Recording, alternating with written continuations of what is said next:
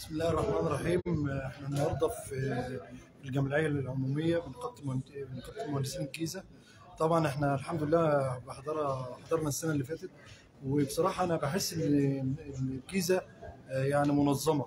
وإحنا الحمد لله في الجيزه يعني عموما من نقابه المهندسين بيبقى في عندنا تجديد نصفي فتلاقي الموضوع السلطة في في تداول محترم لأن إحنا مهندسين لازم بنعمل يعني حالة من الديمقراطية كويسة.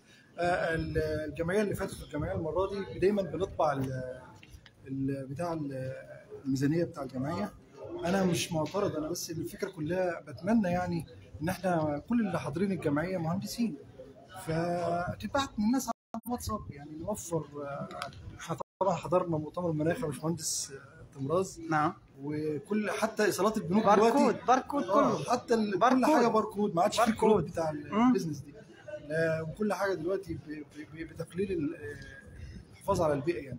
فبنتمنى إن هي دي من ضمن الملحوظات إن هم يقللوا بس المطبوعات عشان توفيرا للنفقات برضه وعشان خاطر يبقى يعني إحنا كمهندسين كلنا نقدر نطلع ويبقى بينا تواصل الحمد لله.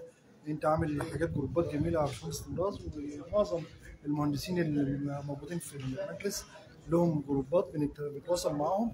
فبالتالي معظم اللي موجود في اللي بحضر الجمعية العمومية أساسا يعني متواصل مع المجلس يعني الحمد لله. يعني أحب أذكر حاجة عن كوب 27 أنا طبعا لما رحت هناك أنا الموافقة اللي جات لي آه، دفعت فيها فلوس. بس لما رحت هناك على يدك أنا بعت كام لواحد يجي عندنا هناك. طبعا. إيه يعني أنا دفعت 5000 جنيه لحد عشان يجيب لي الموافقة إن أنا أدخل شرم الشيخ في كوب 27 أنا لما رحت على يدك إحنا جبنا نواب.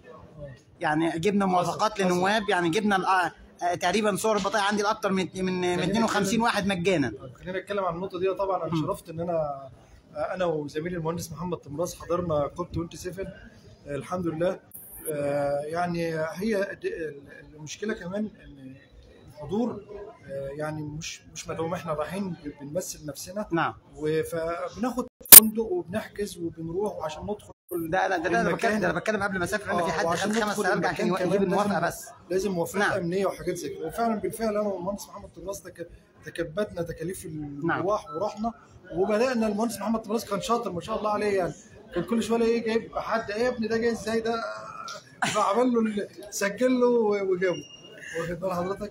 فطبعا دي كانت حاجة جميلة وكان فعلا آه، كان في طاقم كبير جدا من آه، من نقابة المهندسين. كان ممثل للنقابة للنق- ممثل لمهندسين مصر بصرف نعم. النظر عن النقابة ممثل لمهندسين مصر في كوب 27 وأسماء كتيرة جدا مش عايز أذكر منها حد عشان ما أنساش حد وكانوا فعلا بيتواجدوا في ال blue zone وال green zone وإحنا كنا مع بعض طبعا حضرنا معظم الجلسات وعرفنا يعني معلومات قيمة جدا طبعا أنت أدرى بقى أكيد يعني نشرت منها حاجات نعم. على صفحتك يا باشمهندس تمراز آه، نشكرك باشمهندس ممدوح بدوي. منور الدنيا وقد الدنيا. إعلامي نقابه شكرا المهندسين. لك أنت اللي إعلامي. و- وللمجتمع العلمي كمان. أنت اللي إعلامي.